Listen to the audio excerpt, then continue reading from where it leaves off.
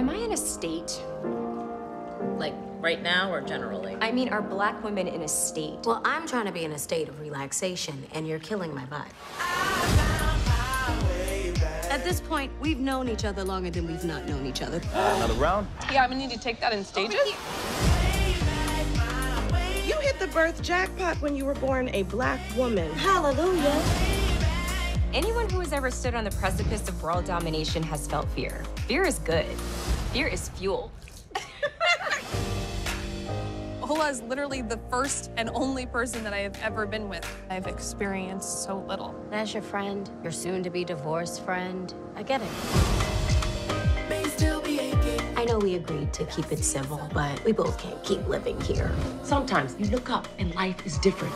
Well, I've been with My thesis advisor, which could get him fired and me thrown out of school. Reinvention, that's the game. This weekend I am and I will do anything I want. Anything. I am just trying to blow off some steam. So if you could just let me. Sometimes you just gotta jump off the cliff. Nobody ever talks about what it feels like when you're falling.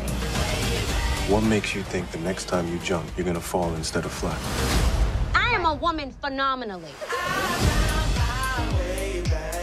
I heard Donald Glover's gonna be there, and I feel like he missed out on dating me when he lived in New York. He's like married with three kids. Girl, like married is not married.